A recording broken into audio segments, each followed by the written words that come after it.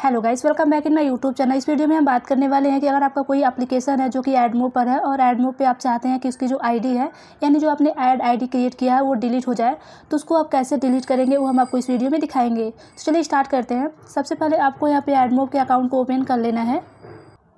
और उस ऐप को सेलेक्ट कर लेना है, जिस ऐप का जो ऐड आईडी आप डिलीट करना चाहते हैं। तो ये हमारा एप्लीकेशन इस ऐप को यहाँ से ओपन कर लेते हैं और इस एप्लीकेशन में हम ऐड आईडी को डिलीट करना चाहते हैं तो यहाँ से एप्लीकेशन ओपन हो जाएगा। ओपन हो जाने के बाद आपको यहाँ पे ऐड यूनिट्स का एक ऑप्शन मिल जाता है, सिंपली ऐड यूनिट्स पर क्लिक कर देना है। जैसे आप पे क्लिक करेंगे उसके बाद आपको यहाँ पे ऐड वन जितना भी आप ऐड क्रिएट किए रहेंगे उस एप्लीकेशन के अंदर तो वो ऐड यहाँ से आपको दिख जाएगा। तो आप देख सकते हैं add one and add two तो दोनों ऐड में से अगर आप दोनों डिलीट करना चाहते हैं दोनों को आप सेलेक्ट करेंगे। अगर यहाँ पे किसी एक को डिलीट करना चाहते हैं तो किसी एक को सिलेक्ट करेंगे।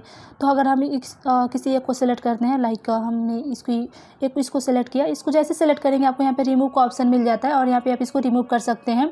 इसके बाद से सेकेंड वाला है तो सेकेंड वाले को भी अगर आप रिमूव करना चाहते हैं तो सेकेंड वाले को भी यहाँ से सेलेक्ट करेंगे और उसके बाद से रिमूव का ऑप्शन आ जाएगा। आप यहाँ से रिमूव कर सकते हैं। इस तरह से बहुत ईजी तरीके से आप यहाँ से ऐड यूनिट आईडी डिलीट कर लेंगे।